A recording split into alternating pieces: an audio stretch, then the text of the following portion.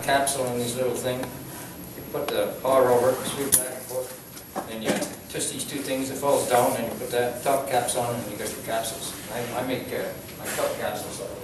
You can't buy kelp, uh, kelp, uh, tablets, but, uh, if you make your own, and, you know, you're using the real kelp, and, uh, you know, it's, oh, Tom, is the kelp powder much cheaper than the kelp tablets? yeah, well, it would be in the long run. You get a pound of it, I can't remember what the price on a pound of it is, but a pound is, uh, you get a, you get a pretty big bag of it. Where do you buy your kelp from?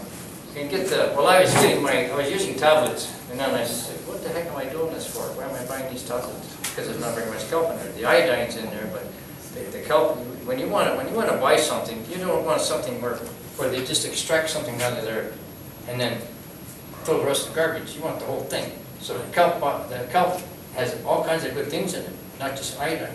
It's got all kinds of things in it, that can pull radiation out of your body and gets rid of poisons and everything. It's got all kinds of like, uh, uh, I can't describe it, I should, you know, I got a book about that, I have to, take me another hour to go through that. But kelp is extremely, extremely good, it's almost as good as chlorella, not quite. Kelp's uh, seaweed too. And the Japanese have been using kelp for a long time, and uh, they, they have low incidences of, of, of regular cancer. They They have a bad incidence of stomach cancers there, because they use a lot of soy sauce. And uh, soy, like I said, soy sauce, I think soy is not too good, even if it's fermented, it might change the composition of the soy somehow, so it's not so harmful. But soybeans and other soy products aren't really that good for you. Soy milk is garbage, there's no calcium in it. You just waste your money buying soy milk. You waste your money buying any kind, any kind of almond milk or any of that kind of stuff, because it doesn't have proper balance of calcium and, and uh, phosphorus and magnesium in it. The best thing for calcium absorption is goat's milk, goat's milk yogurt, or goat cheese, because it has a proper uh, calcium phosphorus ratio, it has to be twice as much calcium as there is phosphorus. It's got magnesium in it, and uh, has all the other nutrients. It's almost, almost the same as, it's almost an exact copy of uh, human milk. So you can't go wrong with it. And a lot of people are turned off by the name of goats, but there's nothing, absolutely, once you start, once you try it, it just, it's got, it depends what kind of goat cheese or goat's milk it is, but uh, some has a nutty flavor to it, has a, like a nutty flavor to it, and some, some doesn't, some is, I, that's all I eat, I don't touch any, cow's milk products are all poison. Have, uh, cow's, cow's milk is meant for cows, cows have two stomachs that digest that, you don't. There's lactose in there, it's full of mucus. And all you gotta do, if you don't believe me, how bad cow's milk is, you just get one cup of it, put it on a, in a container and boil it. A bunch of guff comes up to the top, you can scoop it out of there with a fork. Just like snot, because that's what it is. It's got mucus, that's what you call mucus. And then all that guff that I just, that mucus I'm telling you about, it's in all starchy stuff until you sprout it. It's in all beans until you sprout them. So if you're wondering why you get a lot of colds and stuff, it's because you're fooling around with cow's milk and you're fooling around with starchy stuff that has a lot of mucus in it. See, I'm gonna tell you a big secret right now. You're all gonna think I'm crazy when I tell you, but I know it's true, because my dad used to be a bread man. He used to bring all this kind of crap home. Bread and tarts and pies and cookies and all kind of garbage like that, you know, and I was eating it all the time, and I got thrown pneumonia when I was a kid. But they didn't know any better, they thought they were, you know, yeah, that's the way it was. And my mother kept on trying to force milk on me, I wouldn't drink it for some reason, I I just, I couldn't drink it. So she used to make these chocolate cream pies, just loaded up with milk, eh? I didn't know, I was eating a chocolate cream pie, and I got thrown pneumonia, I was kicked off. I was laying on my back in bed for about three months. And so that's where I got that from. I'm gonna tell you the big secret now. Viruses and bacteria do not cause colds or pneumonia. They don't. Your body has viruses and bacteria in it all the time. They act as scavengers. They eat things in your body shouldn't be there, then your immune system kills them off and gets rid of them.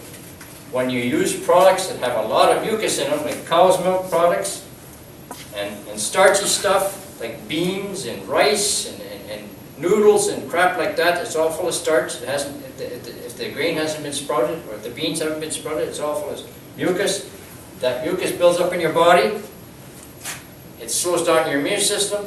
Your body can only get rid of so much at a time, and it starts building up in your body. So then what happens is the viruses and the bacteria love that stuff, so they just multiply like crazy in your body. Can't kill them off fast enough because they're multiplying like crazy in there. So then what happens, your body, in a desperate attempt to get all that mucus and all those bugs and everything under your system that are battling in your body, creates a healing crisis, which is known as a cold. Or a severe cold, which is known as pneumonia, or burst, or some other hocus pocus name that they. It's all a bunch of horseshit anyway, it's all the same thing, it's just mucus. So, what it does, what your body does, desperately tries to do, is push all that mucus into your sinus cavities and in your lungs so you can get rid of it. And while it's doing that, it's getting rid of a lot of the dead viruses and bugs that your body, body makes. That's all that green stuff coming up and yellow stuff coming up, that's all the dead bugs mixed in with the mucus. So it pushes that out. And all, the trouble is, it only pushes out enough so you don't die. There's still some in there. So you feel good for a while, then you start eating that crap again, start building it up in there again, and next thing you got another one. And sometimes you get summer cold because you over, overdo with the milk and the, the, the ice cream cones and shit like that. Eh? Oh, boy, ice cream, oh, boy, ice cream. all that kind of crap and all, uh, all the cosmetics products, just don't touch them anymore. I had to learn the hard way. Like when you know something's not good for you, like if somebody put a glass of sulfuric acid in front of you or a glass of chlorine in front of you and told you to drink it, would you drink it? No.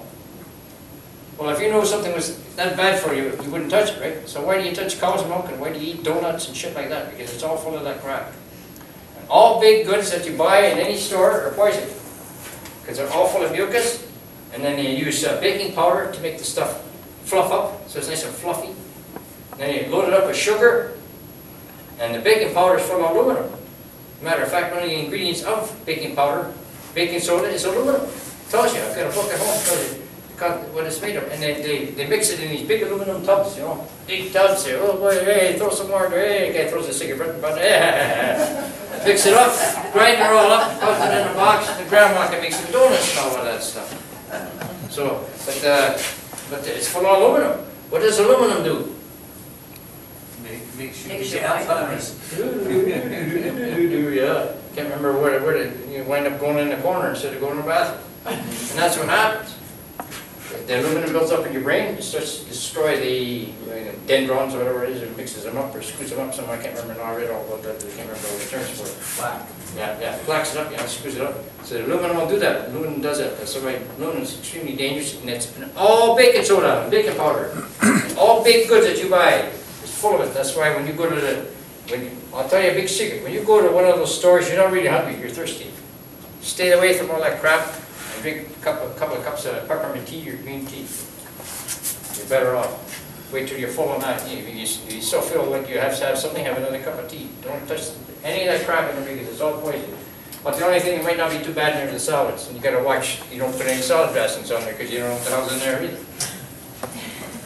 It's true, you know. Once you find out something's poison, don't put it in your body, because you're just asking for it if you do, even a little bit. Like this, this old lady over here, I kinda like her, but she, she's got some funny ideas, I told her all this stuff before. And uh, I said, so stay away from those muffins. She goes, I'll just have one once in a while, she says. But you see, that once in a while thing is no good. It isn't any good, because you're poisoning yourself once in a while. It starts building up in there.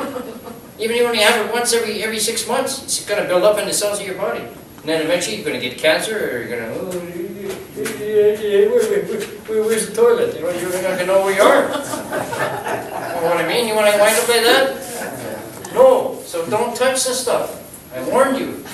Don't, don't, don't say, yeah, Well, they were talking that uh, aluminum, if you ingested it, wasn't as bad as when they were injecting it into oh, your. it's just as bad. I know, but they said that your body can throw it off easier if Oh, you yeah. did eat it. Who- who- Who's they? Uh, I don't know, some, some program I was watching where they were, they were going against the vaccines. How can, talking- how can tell you that?